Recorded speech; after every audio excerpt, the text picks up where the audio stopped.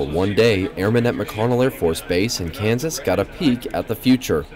Boeing's high tech KC 46A simulator made its Air Force debut, giving McConnell airmen the opportunity to virtually fly the new tanker.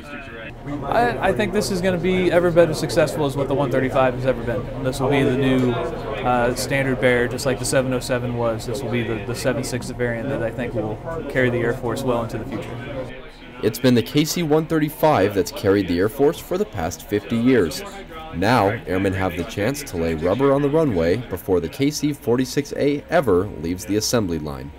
We can come out and demonstrate the capabilities of the KC-46 and get the end user the opportunity to put hands on and see exactly the new technology that we're bringing to the fight. The McConnell community is no stranger to tankers. They've been here since 1971, but this is nothing like it's ever seen before.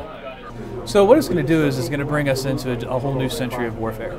So we're going to be able to have Link 16 on the aircraft. We're going to have uh, defensive systems on a tanker.